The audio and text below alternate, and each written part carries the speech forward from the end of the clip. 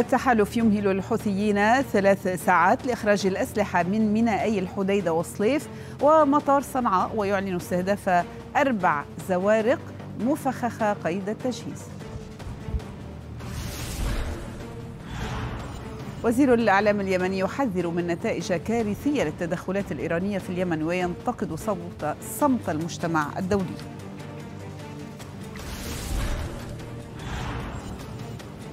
للمرة الثانية البرلمان العراقي يرجئ جلسة انتخاب رئيس الجمهورية إلى يوم الأربعاء المقبل لعدم اكتمال النصاب.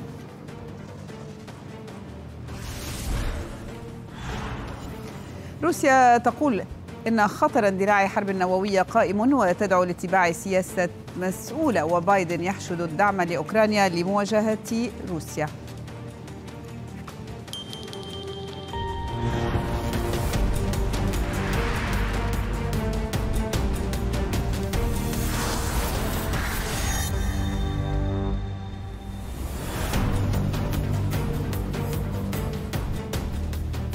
أسعدتم أوقاتا مشاهدينا أحييكم من قناة الحدث. فأهلا بكم لمشاركتنا هذه الساعة الإخبارية. أعلن تحالف دعم الشرعية في اليمن أن الحوثيين استخدموا مواقع ذات حماية خاصة لمهاجمة المنشآت النفطية في السعودية مؤكدا أنه استهدف طائرات مسيرة مفخخة قيد التجهيز بمينائي الحديدة وصليف التحالف. طلب الحوثيين بإخراج الأسلحة التي تستخدم للهجوم على السعودية من المواقع المحمية أولها مطار صنعاء مشيرا إلى أن الميليشيات تسقط الحماية عن هذه المواقع الخاصة باستخدامها في الهجمات العسكرية. وفي وقت لاحق أعلن التحالف استهداف أربعة زوارق مفخخة بميناء صليف كانت قيد التجهيز مؤكدا إحباط هجوم وشيك على ناقلات نفط. وأسفرت عمليات الاستهداف عن مقتل ثلاثة خبراء مختصين بتفخيخ الزوارق وإطلاقها بميناء صليف وأمهل التحالف الحوثيين ثلاث ساعات لإخراج الأسلحة من مينائي الحديدة وصليف ومطار صنعاء. هذا وكان التحالف أعلن أنه بدأ عمليات استجابة لتحييد استهداف المنشآت النفطية أو التأثير على أمن الطاقة بهدف حماية مصادر الطاقة العالمية من الهجمات العدائية وضمان سلاسل الإمداد. وأكد التحالف أنه مارس أعلى معايير ضبط النفس بعد هجمات الحوثي على المنشآت النفطية إلى أنه أضاف بأنه يتوجب على الحوثيين تحمل نتائج السلوك العدائي مشيرا إلى أن العملية العسكرية بمراحلها الأولى.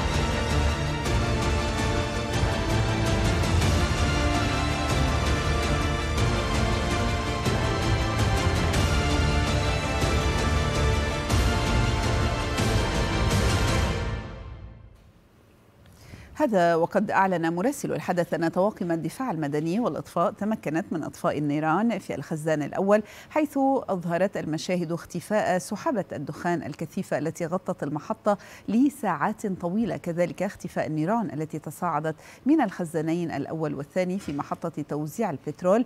التابعة لأرامكو حيث شارك في عملية إخماد النيران خمسين فريقا ميدانيا. وللمزيد والوقوف عند آخر التفاصيل ينضم إلينا من أمام محطة التوزيع الخاصة بأرامكو في جدة مراسل الحدث الزميل سعود الخلف. سعود أهلا بك برفقتنا إلى هذه الساعة الإخبارية.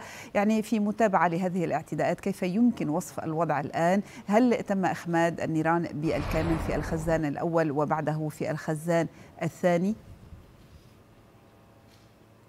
أهلا جزيل أهلا بالفعل. الخزان الأول تم إخماده بالكامل منذ آه، أكثر من ساعتين والخزان الثاني نستطيع أن نقول آه، بنسبة 90% تم إخماد الحريق فيه ولا زالت عمليات الإطفاء مستمرة. كما نشاهد الآن الدخان أصبح أقل بشكل كبير وقد يكاد أن يكون معدوم في الرؤية. الجهود الكبيرة بذلت منذ أن نشب الحريق يوم أمس وفرق الأطفاء آه، تعمل بدقة وبتركيز آه، ليكون هنالك سيطرة على آه، هذا الحريق. وبالفعل تمت السيطرة وحصر الحريق في المنطقة التي نشب فيها. لم يكن هنالك أضرار بشرية. لم تسجل ولله الحمد أضرار أيضا بسبب تصاعد الأدخنة. يوم أمس أضرار صحية من حيث من يعانون من الحساسية أو الربو آه، أو ما شابه ذلك. الأمور يعني صارت بشكل دقيق وحريص من آه، الجهات آه، الأمنية. نعم نعم. جزيل. يعني نحن نشاهد أيضا من هنا بأن سحب الدخان يعني تلاشت تماما. أيضا سعود كيف يمكن الآن وصف الوضع من حيث السيطرة وإعادة تشغيل المحطات التي استهدفت؟ طبعا نحن في انتظار أن يصدر بيان من وزارة الطاقة أو حتى من أرامكو لإظهار التلفيات وتفاصيل دقيقة عن هذا الأمر. ولكن لو نظرنا للأمر جزيل من ناحية الأثر الاقتصادي حيث لم يكن هنالك أثر على الحياة الطبيعية في مدينة جدة بسبب هذا الاعتداء. ولكن الأثر الاقتصادي سيكون واضح وظاهر بشكل كبير لأن هنالك تهديد آه، لأمن واستقرار إمدادات الطاقة إلى الأسواق العالمية، هنالك آه، آه، آثار جسيمة يعني سينتج عنها أو ستترتب على قطاعات الإنتاج والمعالجة والتكرير، الأمر اللي راح ينتج عنه التأثير على قدرة المملكة الإنتاجية.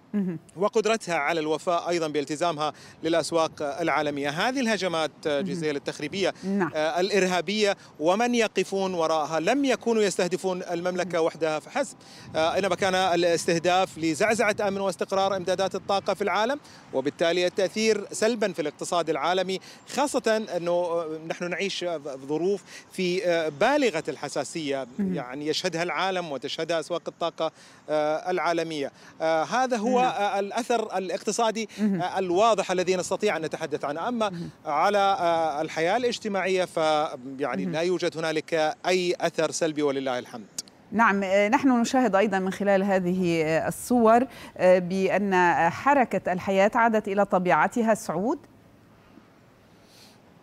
بالتأكيد. هي هي الحركة تسير على طبيعتها والآن الكاميرا تظهر لكم. نحن الآن على طريق آه، الحرمين. هذه الحركة كانت آه، آه، دائمة يوميا وليس اليوم فقط ولم تتأثر يوم أمس. يعني لم يكن هنالك توقف أو إغلاق للطرق لأن عملية حصر الحريق كانت يعني واضحة ومحدودة في في المنطقة في الخزانين فقط. لم يكن هنالك أي تأثير حتى حتى على الأحياء المجاورة للمنطقة التي تتواجد فيها آه هذه الخزانات. نعم. آه، أيضا يعني فهمت مما تفضلت به سعود إلى أن آه، يعني هذا الاستهداف سيؤدي إلى تخفيض القدرة الإنتاجية عما كانت عليه. بالتأكيد لأنه يعني السعودية تعتبر واحدة من أهم الدول آه، المنتجة للبترول والطاقة. فباستهدافها بهذا الشكل الإجرامي هي هي الرسالة واضحة من من الميليشيات الحوثية أنها تريد ضرب الاقتصاد العالمي وليس السعودية فقط. يعني هي تضاعف الأحداث التي تمر فيها آه، يمر فيها العالم. فبالتأكيد لن يكون هنالك القدرة على الإيفاء بزياده الإنتاج الانتاج وسيكون هنالك تخفيض. يعني هذا هذه الرؤية العامة للحدث. نشكر لك كل هذه الإيضاحات التي تفضلت بها معنا من أمام محطة التوزيع الخاصة بأرمكو في جدة. مراسل الحدث الزميل سعود الخلف شكرا لك. أكدت المتحدثة الإقليمية باسم الخارجية الأمريكية جيرارد جريفيث لقناة الحدث أن الولايات المتحدة تعمل على محاسبة النظام الإيراني لزعزعته الاستقرار في اليمن ودعمه الحوثيين والميليشيات في المنطقة مشددة على أن الحوثيين يتحملون مسؤولية هجماتهم على السعودية.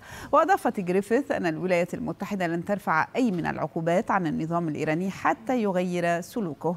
وأوضحت أن هجمات الحوثيين على مصادر الطاقة في السعودية تفاقم أو تفاقم الأزمة بالعالم موضحة أنه تم إحباط ما يقرب من 90% من الهجمات الحوثية على السعودية. وقالت جريفيث أن أمريكا تعمل على تقديم مساعدات دفاعية عسكرية لدول الخليج العربي.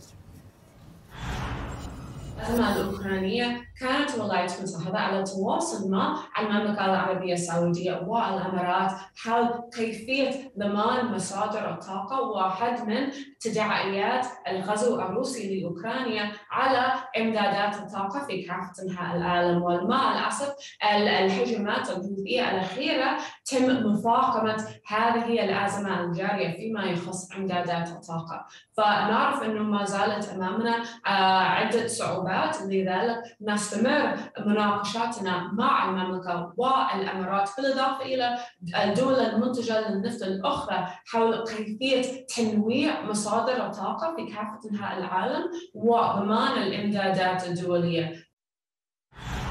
تعاون الولايات المتحدة مع شركائنا في الأمم المتحدة والمجتمع الدولي لممارسة مزيد من الضغط على قادة الحوثيين من أجل حد من هذه الهجمات وعلى الصعيد العسكري تتعاون الولايات المتحدة مع المملكة العربية السعودية والإمارات وغيرها من دول الخليج من أجل تعزيز قدراتها على الدفاع عن نفسها والتصدي لهذه الهجمات الحوثية عبر تقديم المنظومات المنظومات العسكرية قادرة على التصدي لهذه الهجمات. فنحن على تواصل مع شركائنا في المنطقة ونبحث عن طرق إضافية لتضييق الخناق على الحوثيين ومحاسبتهم والنظام الإيراني عن هذه الهجمات غير المبررة.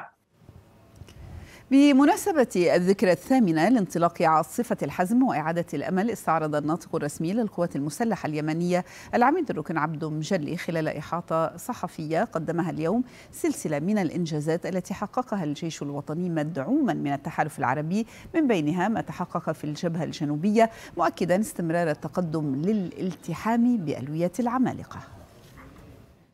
نستعرض معكم أهم ما حققته قوات الجيش والمقاومة الشعبية ورجال القبائل من انتصارات في الجبهات القتالية وبإسناد من دول تحالف دعم الشرعية بقيادة الأشقاء في المملكة العربية السعودية. انتصارات الجيش الوطني.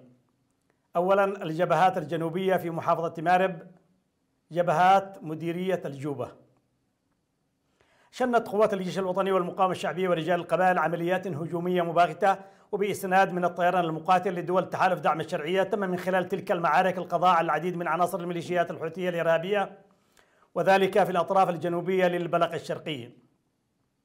كما تم تحرير مواقع هامة وحاكمة في مناطق الفليحة والعكد والعمود وما زال التقدم مستمر نحو معسكر أمريش الذي أصبح تحت السيطرة النارية لقواتنا والتقدم مستمر لتحقيق الالتحام بأبطال ألوية العمالقة. طيران تحالف دعم الشرعية كان له دورا فعالا في تدمير قدرات الميليشيات الحوثية حيث نفذ العديد من الاستهدافات الجوية أسفرت عن تدمير مدفع 23 مضاد طيران وثلاث عربات مدرعة وسبعة أطقم قتالية كانت تحمل تعزيزات حوثية. وإليكم مقطع الفيديو يوضح الانتصارات في الجبهات الجنوبية في محافظة مالك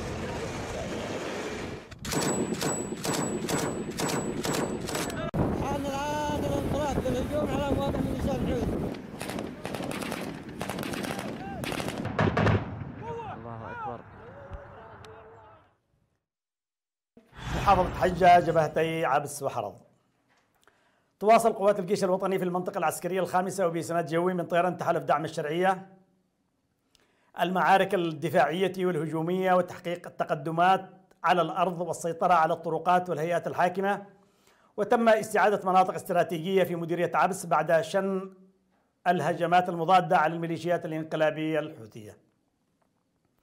وقد كان للتشكيل البحري في المنطقة الخامسة دورا هاما في تدمير القوارب المفخخة الحوثية التي كانت تهدد طرق الملاحة الدولية في البحر الأحمر. قال وزير الإعلام اليمني معمر الإرياني إن استمرار المجتمع الدولي في غض الطرف عن التدخلات الإيرانية باليمن وتسليحها للحوثيين ستكون له نتائج كارثية وسيدفع العالم ثمنه. وأوضح الإرياني لموقع القاهرة 24 الإخباري المصري قائلا إن على المجتمع الدولي اتخاذ مواقف حازمة لوقف التدخلات الإيرانية تجاه الأزمة اليمنية كما شدد الارياني على ضرورة دعم المجتمع الدولي للحكومة الشرعية في معركة استعادة الدولة وإسقاط انقلاب ميليشيا الحوثي الإرهابية. وللوقوف عند آخر هذه التطورات ينضم إلينا من الرياض المحلل السياسي الدكتور سالم اليامي. أهلا بك دكتور سالم برفقتنا مع قناة الحدث إلى هذه الساعة الإخبارية.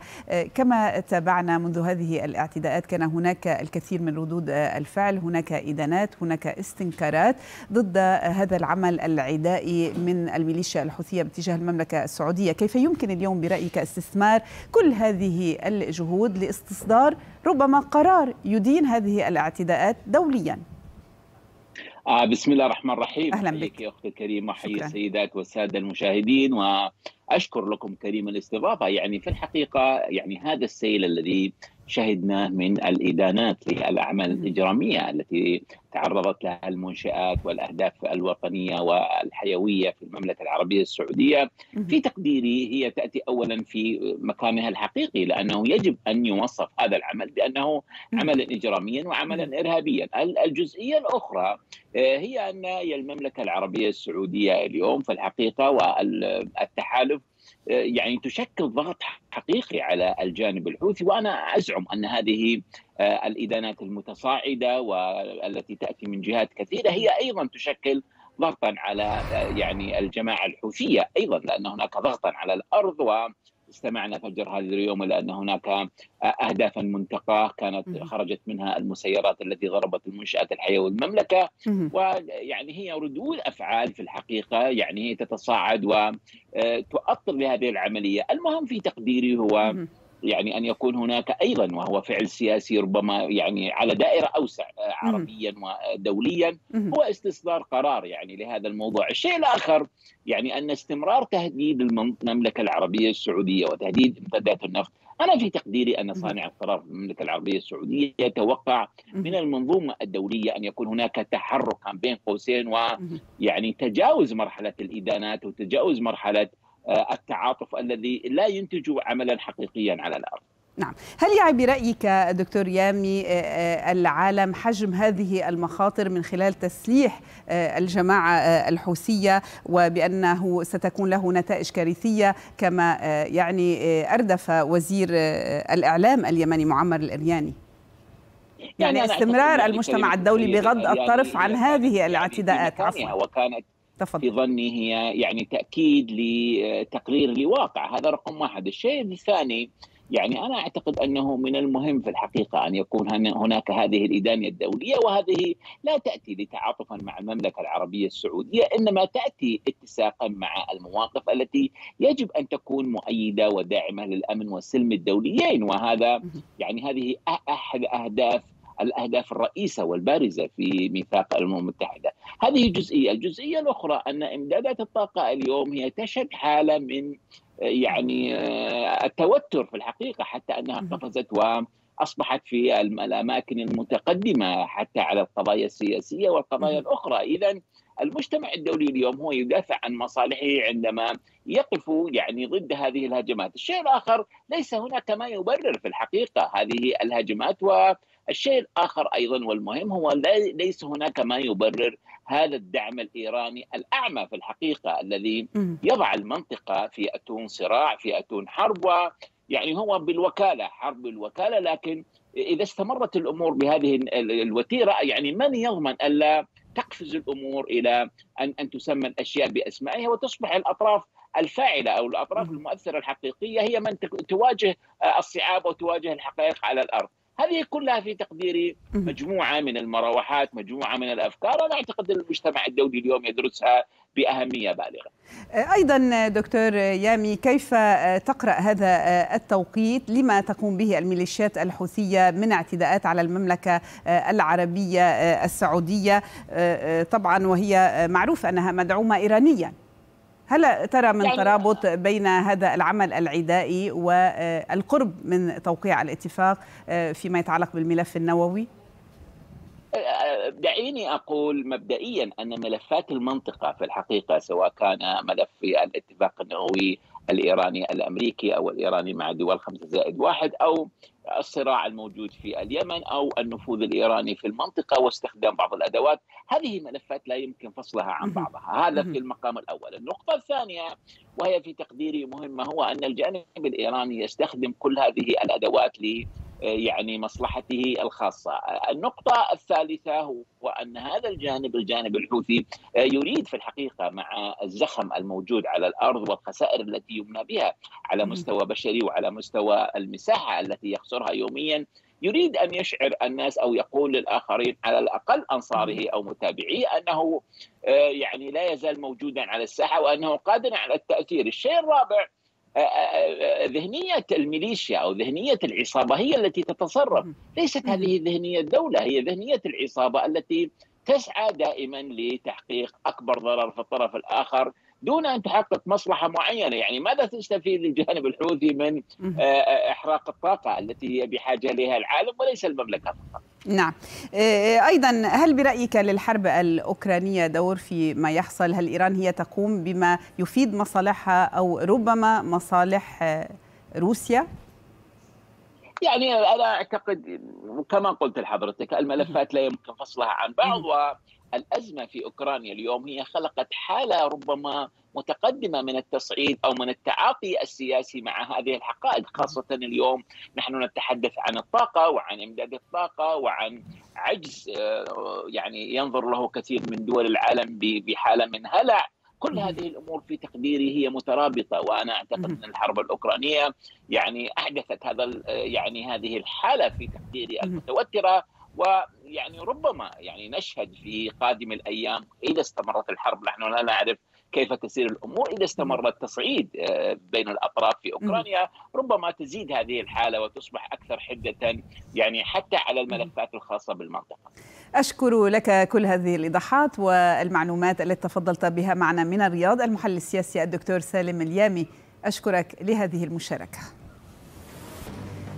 نشرتنا مستمرة فيها أيضا بعد الفاصل.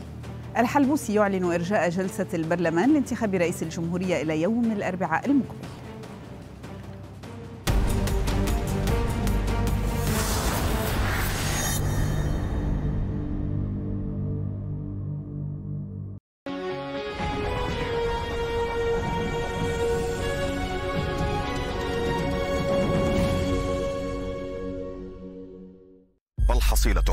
سقوط خيرسون أمام ماريوبيل الميناء المحاصر.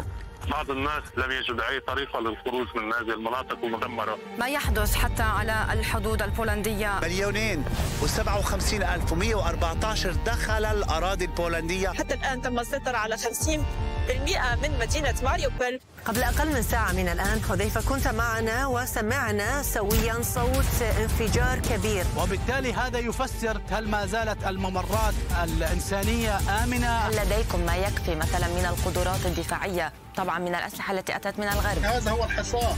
روسيا تحاصر المدن الكبرى.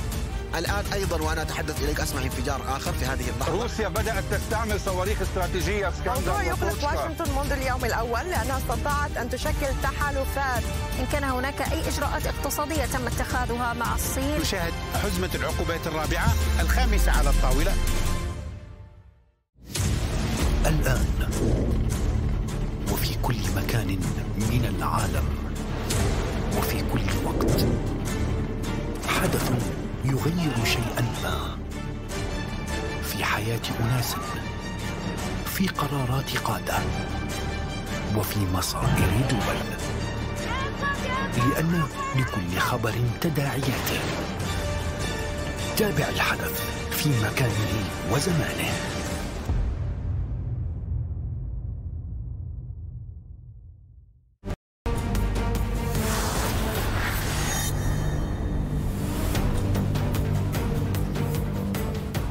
أهلا بكم من جديد والآن إلى آخر تطورات الملف العراقي حيث قال رئيس المجلس مجلس النواب العراقي محمد الحلبوسي إن جلسة انتخاب رئيس الجمهورية ستعقد يوم الأربعاء المقبل. كما أفادت وكالة الأنباء العراقية أن مجلس النواب رفع جلسته اليوم إلى يوم الاثنين القادم. هيئة رئاسة البرلمان كانت قد عقدت اجتماعا حول انعقاد جلسة انتخاب رئيس الجمهورية كما عقدت الكتل السياسية المنضوية في تحالف إنقاذ وطن اجتماعات منفردة داخل المجلس. انتخاب رئيس الجمهورية.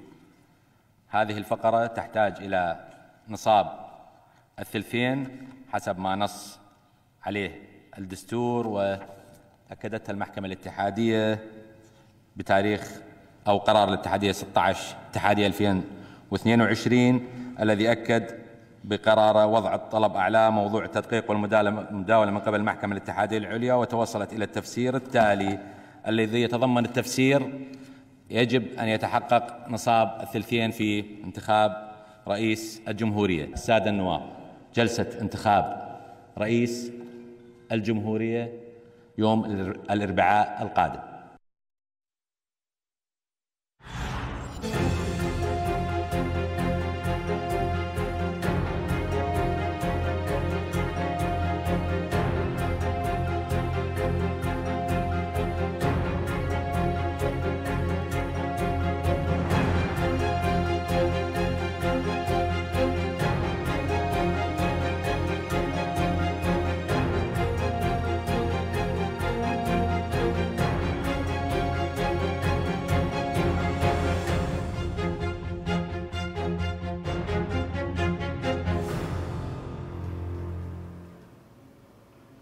وللمزيد حول تأجيل هذه الجلسة التي كانت مخصصة لانتخاب رئيس للجمهورية. ينضم إلينا من بغداد مراسل الحدث الزميل سامر الكبيسي سامر أهلا بك. كيف تنقل لنا ردود الأفعال بعد تأجيل هذه الجلسة التي كانت مخصصة لانتخاب رئيس للجمهورية بين الكتل داخل البرلمان؟ كيف يمكن وصفها؟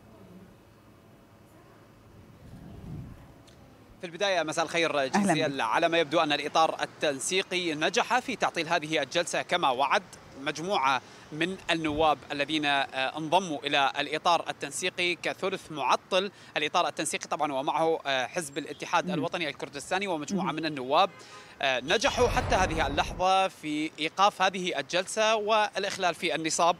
الكتلة الصدرية ومن معها نجحت أيضا في جمع 202 أو 200 ونائبين. في هذه الجلسة التي تم رفعها طبعا من قبل رئاسة مجلس النواب. بقي 18 نائبا وتكون هذه الجلسة جلسة دستورية يتحقق فيها النصاب. ربما هذا ما سيحدث طبعا أو هذا السيناريو سيحدث عند يوم الأربعاء عندما تعقد هذه الجلسة للتصويت على رئاسة الجمهورية. ردود الأفعال جيزيل ربما جاءت من قبل رئيس الجمهورية برهم صالح وهو المرشح الأبرز رقم اثنين ربما على الورق حتى هذه اللحظة. جاءت ردود الفعل بأن هناك أسف لعدم تحقيق هذا النصاب ومن ثم التصويت على رئيس الجمهورية. جيزيل عدة سيناريوهات. ربما ستكون حاضرة يوم الأربعاء المقبل. هل سيكون هناك اتفاق بين الإطار التنسيقي والكتلة التي يقودها هل هل من مؤشرات لذلك سامر؟ سيستمر هذا الخلاف لتفاهمات بين الكتل التي امتنعت اليوم عن تأمين النصاب. تفضل. آه نعم جيزيل بحسب ما رأيناه اليوم كان هناك يعني حركة مكوكية للنواب وحتى الكتل السياسية إن كان داخل مجلس النواب أو حتى خارج آه المجلس. لكن على ما يبدو لم ينجح حتى هذه اللحظة آه جبهة إنقاذ وطن أو تحالف إنقاذ وطن لم ينجح في جمع 220 نائبا لكنه وصل إلى رقم قريب جدا وهو 200 ونائبين. بقي العمل على الكتل الصغيرة وكذلك النواب المستقلين من قبل هذه الكتلة أو حتى هذا التحالف. ربما ينجح وربما لا يستمر هذا الانغلاق السياسي إلى حين وصول مرحلة ربما عبور التوقيتات الدستورية بحسب الخبراء القانونيين أو الذهاب إلى المحكمة الاتحادية لتفسير ما هي التبعات القانونية والارتدادات على طبعا مجلس النواب في حال لم يصوت على رئيس للجمهورية خلال فترة الثلاثين يوما. نعم، ما هي السيناريوهات المتوقعة؟ خصوصا وأننا علمنا بأن المحكمة الاتحادية يعني لن يكون لها الكثير لتعمل عليه بسبب عدم وجود نص قانوني بذلك. هل هناك إمكانية للذهاب إلى تطبيق المادة 64 على سبيل المثال إعادة إجراء انتخابات مبكرة؟ نعم جيزيل بعض الخبراء القانونيين ذهبوا إلى أن يكون حل البرلمان هو الحل الوحيد بطبعا طلب من ثلث أعضاء مجلس النواب إلى رئيس مجلس النواب أو إلى رئيس الجمهورية. وبالتالي سيكون هناك أيضا حل لهذا المجلس. وبالتالي انتخابات مبكرة. أخرى في حال هذا لم ينجح في الوصول هذا البرلمان لم ينجح في الوصول إلى رئيس جمهورية والتصويت على رئيس رئيس جمهورية داخل مجلس النواب. بالتالي يعني سيرحل هذا الموضوع إلى أن يحل مجلس النواب. لكن أيضا ما تزال طبعا بحسب النواب الذين التقينا بهم يؤكدون أن المفاوضات والاتفاقات والاجتماعات ما زالت مستمرة. لكن هل ستنجح هذه الاجتماعات والتوافقات في جمع هذا العدد أم سيبقى هذا الموضوع؟ يعني سيبقى الإطار كثلث معطل لجلسة مجلس النواب الخاصة طبعا بالتصويت على رئيس الجمهورية. وربما هذا حتى ينسحب على تسمية اللجان العاملة في مجلس النواب. اليوم كان فقط التصويت على اللجنة المالية ربما للعمل على الموازنة الاتحادية الخاصة بهذا العام. نعم. نشكر لك كل هذه الإيضاحات وكل هذه التفاصيل التي زودتنا بها من بغداد. مراسل الحدث الزميل سامر الكبيسي شكرا جزيلا لك. أيضا مشاهدينا وحول نفس الملف نبقى في بغداد حيث ينضم إلينا من هناك الإعلامي والمحلل السياسي الأستاذ فلاح الذهبي. أستاذ فلاح الهم بك معنا إلى هذه الساعة الإخبارية. يعني كما كنا نتابع مع الزميل سامر يبدو أن الإطار التنسيقي نجح هذه المرة في عدم إتمام النصاب من أجل انتخاب رئيس للجمهورية. هل نحن اليوم أمام مبارزة برأيك أمام الإطار بين الإطار التنسيقي وكتلة إنقاذ وطن التي يتزعمها الصدر طبعا؟ تحية طيبة لكم. أهلا بك. تحية طيبة لكم. حقيقة أنا يوم أمس كنت في قناتكم الكريمة مع ست هاني وتحدثت عن سيناريو ما حصل اليوم بالضبط. المشكلة العراق قبل أوكرانيا غير العراق ما بعد أوكرانيا حول طبيعة التحالفات وانشغال العالم كله الآن في قضية الاقتصاد والعالم. لذلك تركت هذه المنطقة بيد من هو أقوى. الآن في توقعاتي يوم غد سيذهب السيد الحلبوسي إلى طهران وربما سيوضع أمام طبيعة الخارطة التي ستكون سيكون عليها شكل العراق.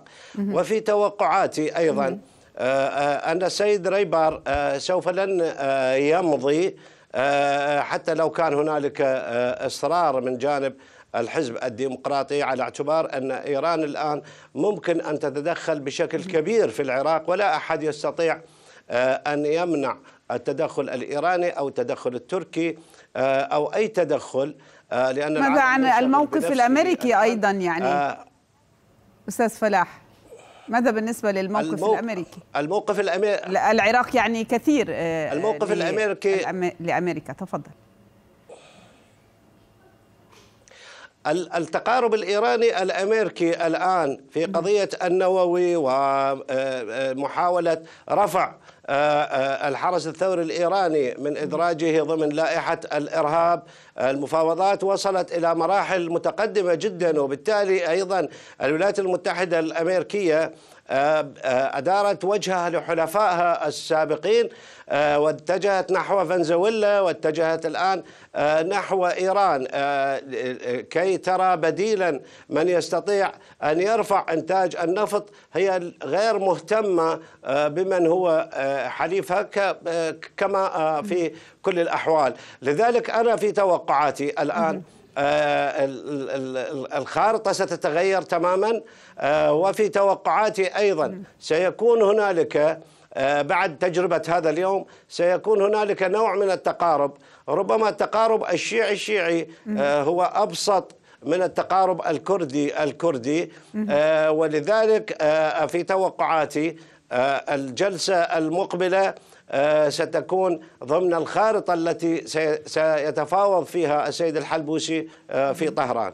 بمعنى يعني هل نتوقع تفاهمات جديدة كما ذكرت وفقا للدور الإيراني آه، في هذا الملف؟ هل نتوقع تنازلات من قبل الزعيم الصدري للإطار التنسيقي؟ تحدثت عن تفاهم شيعي شيعي ربما. يعني آه، آه، قبل آه، قضية أوكرانيا كان الإطار التنسيقي هو الذي يتمنى أن يقترب أكثر من السيد الصدر. لكن بعد ذلك لاحظنا أن السيد الصدر اتصل بالسيد المالكي والمالكي لم يعطه جوابا إلا بعد اجتماع وتشدد الإطار التنسيقي في قضية الثلث المعطل. هذا معناه أنه يعرف جيدا أن الأجواء تغيرت آه، والرياح تغيرت ذهبت باتجاه آخر آه، وفي السياسة يفترض سياسة فن الممكن. وبالتالي أعتقد سيكون هنالك نوع من التغيير في التحالفات في المرحلة في الأيام المقبلة. ماذا بالنسبة أيضا للدخول بالتوقيتات الدستورية؟ هناك تخطي للدستور فيما يتعلق بانتخاب الرئيس. ودور المحكمة الاتحادية يعني قضية قضية الدستور حقيقة تم خرقه آه، مئات المرات آه، في كل آه، مناسبة من هذه المناسبات يتم خرق الدستور. في توقعاتي الشخصية سوف لن يتم خرق للدستور. هذه الأيام الثلاثة أو الأربعة المقبلة سيكون هنالك نوع من التفاهم ربما لأن وضع العراق لا يحتمل بسبب آه، المشكلة الاقتصادية وأن العراق لا يمتلك خزين من الحبوب سوى لشهرين. العراق الآن حتى لو كان يمتلك أموال لا يستطيع أن يشتري لأن لا يوجد أحد سيبيع له آه، الحبوب. وبالتالي من يتصدى يكون منفردا لرئاسة الحكومة سيواجه مشاكل كبيرة أمام الشارع العراقي. نعم. آه، أنت تتحدث عن تأثير الأزمة الأوكرانية بالنسبة للغذاء. آه، أستاذ فلاح. نعم. نعم بالضبط. يعني الآن آه، معروف أن أوكرانيا وروسيا على الأقل 80% تزود مصر. آه، لبنان الآن تعاني من مشكلة ونحن أيضا آه، تم حرق محاصيل الحنطة في صلاح الدين وفي الموصل وبالتالي نعم. على لسان وزير الزراعة يقول لا نمتلك خزين سوى لشهرين. وبالتالي إذا ما أغرق العالم بكميات من النفط سينخفض أيضا سعر برميل النفط. آه، وبالتالي آه، سنعاني. إحنا عندنا مستوى الفقر. الآن وصل آه، من مجموعه 40 مليون 11 مليون و400 ألف تحت خط الفقر. فتخيلي ما بعد هذا حينما لا يكون خبزا في العراق ما الذي سيحصل؟ نعم. وبالتالي يعني بالنسبة للتوقيتات القانونية وبإمكانية حصول وفقا للمادة 64 حل البرلمان وانتخابات مبكرة غير مطروح حتى اللحظة. بانتظار ما سينتج عن هذه يعني لا أعتقد كما تفضلت وذكرت. تفضل. يعني لا أعتقد آه، آه، يرغبون بالذهاب إلى آه، حل البرلمان لأنهم سوف لن يحصلوا الكل لن يحصل على ما حصل عليه الآن.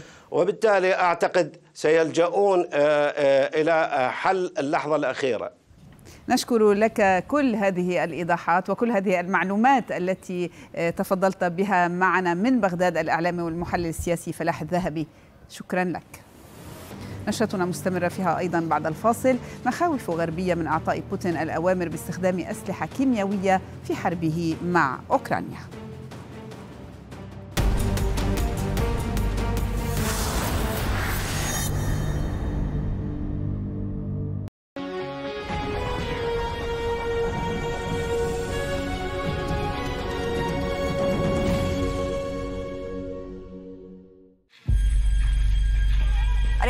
المتظاهرون إلى الشوارع واتجهوا للقصر الرئاسي حاليا هم بيضربوا في الرصاص هم بيضربوا في الرصاص وبرضه الثورة مستمرة هل هناك توقعات بأن تنحرف التظاهرات عن السلمية؟ لكن استمرار التظاهرات لا يعني فقط استمرار الدماء يعني استمرار الأزمة إلى أي مدى هناك جدول هناك أجندة قادمة بالنسبة لخروج هذه التظاهرات اليوم تم حرق محلية مدني الكبرى لماذا؟ لماذا تحرق الممتلكات العامة؟ أما آن لهذا النزيف أن يتوقف قبل أن ندخل إلى مسألة المبادرات والحل هل ستكون هناك ضربات أمريكية على هذا الفصيل؟ قضية سداح مداح وراح نرجع للفوضى والديكتاتوريات والأمور الأخرى. مش هنقدر نخليها تمر هذه الكلمة مرور الكرام. إيران فيها مشاكل عدة. وهنا نتحدث أن العراق يقع بين نارين نار الميليشيات ونار داعش. نحن في بلد الغرائب والعجائب في لبنان. أنا شاعر بيتي شاعر العالم كله شاعر. ما صرف اليوم من أموال في البنبان هو قمع لحرية الشعب السوداني والثورة مستمرة.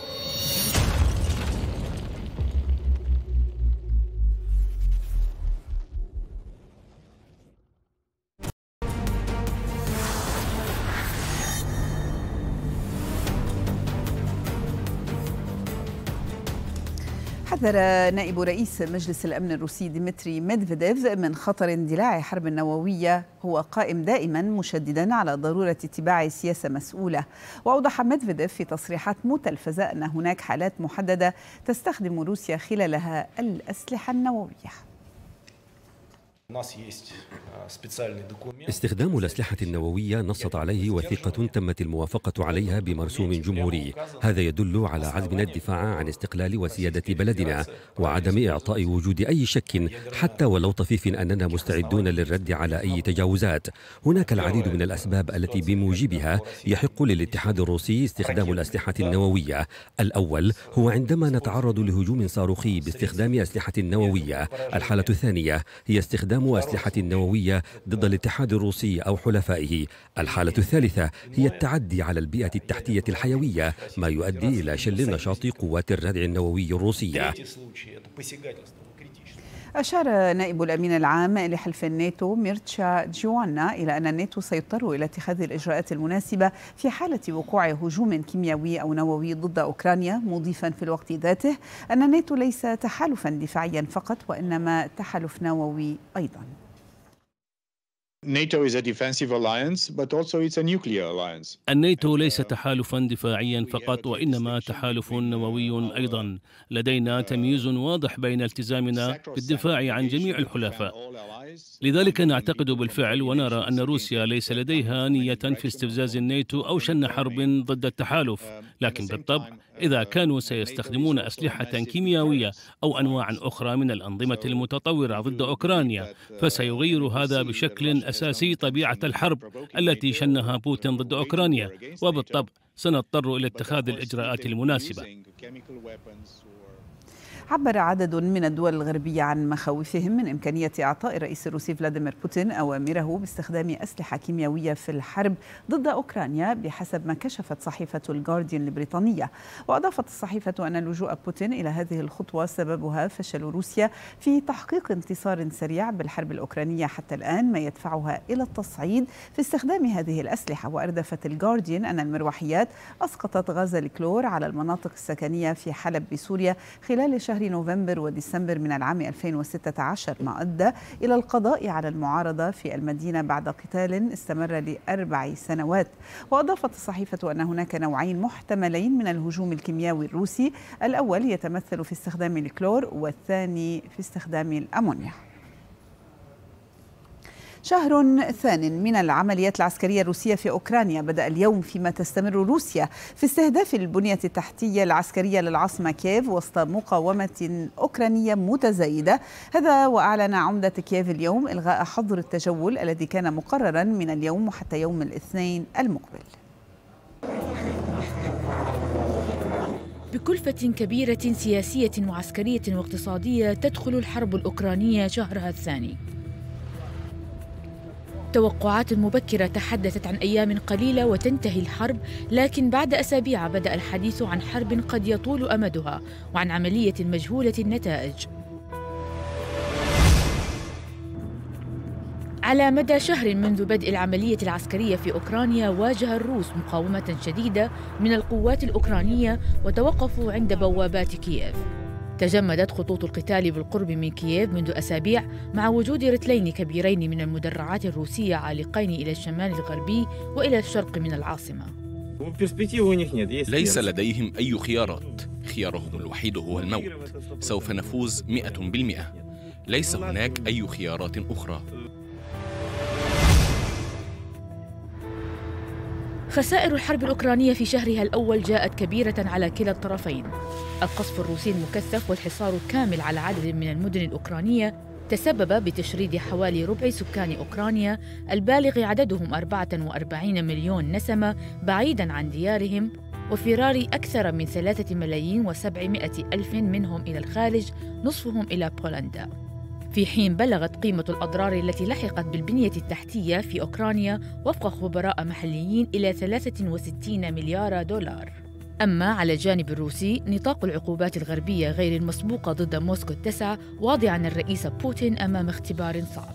وعن الخسائر العسكرية أكثر من 1300 جندي روسي قتلوا ونحو 4000 جندي أصيبوا بجروح وفق وكالة انترفاكس عدا عن إعلان مسؤولين غربيين عن مقتل سبعة جنرالات روس وآخر تم عزله خلال الحرب في أوكرانيا.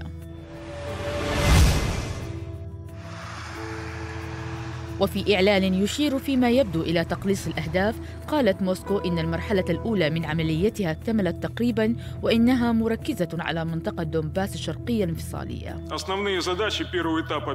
لقد تم تحقيق الأهداف الرئيسية للمرحلة الأولى من العملية العسكرية بشكل عام وقد تم تقليل الإمكانات القتالية للقوات المسلحة في أوكرانيا بشكل كبير. كما أؤكد مرة أخرى أن هدفنا الرئيسي هو تحرير دونباس شهر ثان بدأ صورة رمادية تطغى على سماء الحرب وأرضها ليستمر البحث عن حلول للحلحة الأزمة وإنهاء الحرب. ربما يأتي من بوابة المفاوضات الروسية الغربية وفق محللين خاصة بعد فشل أربع جولات من المفاوضات بين موسكو وكييف. ملوك الشيخ العربية. من أوديسا ينضم إلينا موفد الحدث مجددا الزميل عادل عيدان. عادل أهلا بك معنا مجددا إلى هذه الساعة الإخبارية. كنت قد حدثنا منذ أكثر من ساعة تقريبا عن نزوح من ميكولايف باتجاه أوديسا. المعلومات الأوفى لديك. هل هناك يعني كل ما يحتاجه اليوم المواطن الأوكراني كهرباء غذاء مياه؟ كيف هو الوضع بشكل عام؟ نعم يعني هذه الحافلات التي تنقل النازحين من ميكولايف إلى إلى أوديسا تحديدا. هي باليوم أربع إلى خمس حافلات تصل وفق ما وصلت اليوم مثلا تصل ما بين الساعة الحادية عشرة صباحا وحتى الساعة الثانية ظهرا. اليوم أيضا تحدثت مع أحد الصحفيين كان يتحدث عن إنه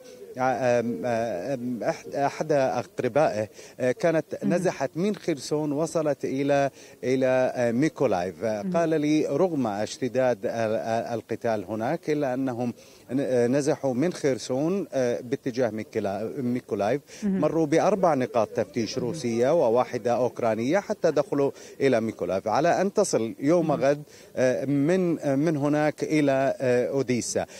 حينما يصلون إلى أوديسا يتم تقسيمهم. من يريد أن يبقى في أوديسا؟ يوفرونه يوفرون له ملجأ ومن يريد أن يخرج خارجها. هنا مثلا خلفي هذا مركز للتطوع. يتم فيه جمع المواد الغذائية من المتبرعين من الحكومة الأوكرانية ومن ثم يتم توزيعها سواء جزء منها يتم توزيعها على اللاجئين وجزء منها حتى يقدمونه إلى بعض الجنود. كما ترين الآن بدأت الشوارع يعني شبه تخلو من المارة لأننا نقترب من الحظر أقل يعني ساعتين وعشر دقائق فقط يعني تفصلنا عن الحظر عند الساعة الثامنة بالتوقيت المحلي. نمنع من تصوير بعض الأماكن هناك أماكن خلفنا يكون فيها نقاط تفتيش والجيش موجود فيها. نمنع حقيقة وليس مصرح لنا بتصويرها ولكن كما ترين الشوارع شبه خالية. بعض المرة طبعا قاطني هذه المنازل القريبة من هذه المنطقة. فقط هم من يسمح لهم بالدخول على أن يحمل معه ما بعد هذه مثلا النقطة نقطة التفتيش يحمل جوازه أو وثائقه وبالتالي يدخل إلى هذه المنطقة جيزيل. نعم نفهم منك عادل يعني بأن سكان هذه المنطقة أوديسا يعني ما زالوا متواجدين القليل منهم نزح. خلال الثلاثة أيام الماضية كما قيل لي أنه بدأت العودة من جديد إلى أوديسا بعد هدوء الأوضاع نسبيا رغم حال الترقب التي ينتظرها سكان أوديسا من من الخوف من السفن الحربية التي تقصفهم بين الحين والآخر. اليوم حقيقة من الساعة الثانية بعد الظهر بالتوقيت المحلي وحتى الآن يعني خلال أربع ساعات سمعنا ثلاث مرات صافرات الإنذار. ليس بالضرورة أن القصف يتم على أوديسا ولكن قد يكون الصاروخ منطلق بهذا الاتجاه. فعلى السكان الحذر لا يعلمون أين سيتجه هذا الصاروخ ولكنه بهذا الاتجاه. قد يصل أبعد من من أوديسا وبالتالي يجب على السكان الحذر بالدخول إلى الملاجئ لكنهم حقيقة لا يعني وصلوا إلى مرحلة البعض منهم أنا أتكلم أو ما شاهدته من أنه لا يكترث بصافرات الإنذار يبقى يؤدي مهامه. بعض المحال التي تقدم المواد الغذائية والأجهزة الكهربائية هي موجودة حقيقة وفاتحة فتحت أبوابها ولكن تلك بنسبة قليلة من 5 إلى 10% من إجمالي المحلات. بعض المحلات أيضا يعني كانت إذا إذا مثلا رأينا هذه المحلات التي أمامنا بعض المحلات وضعت متاريس وبعض المحلات وضعت ألواح خشبية وأخرى ألواح حديدية. ربما لتأمين هذا المبنى من أي ضرر قد يحصل مستقبلا وهم يترقبون. أي صاروخ يصل إلى هذه المنطقة في حال اشتداد المعارك. طبعا هم لديهم روح معنوية الآن مرتفعة بما أن القوات الأوكرانية صدت الهجوم أو الهجمات المتكررة من القوات الروسية على ميكولايف وبالتالي الاستدارة من حولها أو الالتفاف من حولها والوصول إلى أوديسا دفعتهم هذه القوات إلى الوصول إلى ريف ميكولايف وبالتالي أيضا إحباط هذه الهجمات هم الان يترقبون نعم. تلك الصواريخ يعني نفهم بين الحين والآخر نعم. على الساحل عمليات الكر والفر بين القوات الروسية والقوات الأوكرانية مستمرة أيضا مع قرب ساعات حظر التجوال يعني تخف الحركة كما فهمنا منك عادل ماذا بالنسبة للوضع بالتأكيد. الأمني يعني هل تكثف القوات الروسية استهدافاتها مساء؟ نعم كما قيل لي يعني يوم أمس ما بين الحادية عشر مساء والثانية عشر مساء كان هناك ويعني قبل منتصف الليل كان هناك أكثر من صفرة إنذار خلال ساعة واحدة. نعم. بعد ذلك من الثانية من من الثانية عشرة منتصف الليل وحتى الثانية بعد الظهر لم تسمع أي صافرات إنذار. قلت لك قبل قليل أنه يعني أنا نعم. سمعت ثلاث صافرات إنذار فقط حينما قدمت إلى هذه المدينة. قد يكون اشتداد القصف أو اشتداد إرسال الصواريخ بعد منتصف الليل أو قبيل ذلك تحديدا عند المساء. نعم. عادل أشكرك لكل هذه المعلومات وهذه الإحاطة التي زودتنا بها من خلال تواجدك لليوم الأول في أوكرانيا وتحديدا في أوديسا. نتمنى لك السلامة لك ولكل الزملاء. أشكرك لكل هذه المعلومات وطبعا سنعود لك تبعا في حال وجود أي تطور جديد.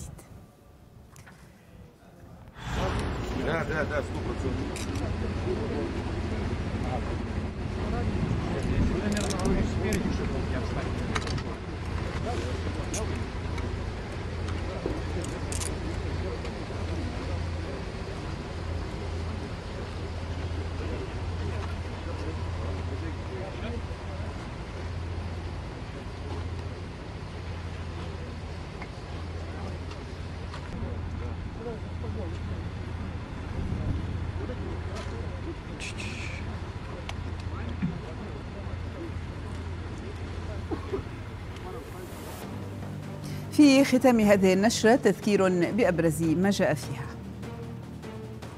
التحالف يعلن بدء ضربات جوية لمعاقل الحوثيين بمدينة الحديدة ويمهل الحوثيين ثلاث ساعات لإخراج الأسلحة من مينائي الحديدة والصليف ومطار صنعاء.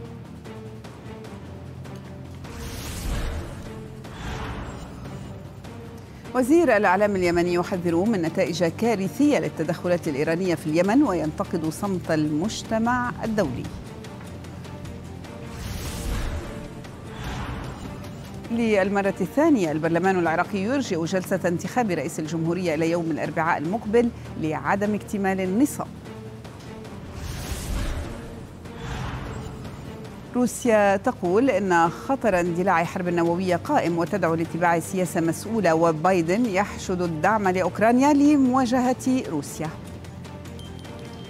باقون معكم مشاهدينا والمزيد بعد قليل ابقوا برفقتنا مع قناة الحدث إلى اللقاء.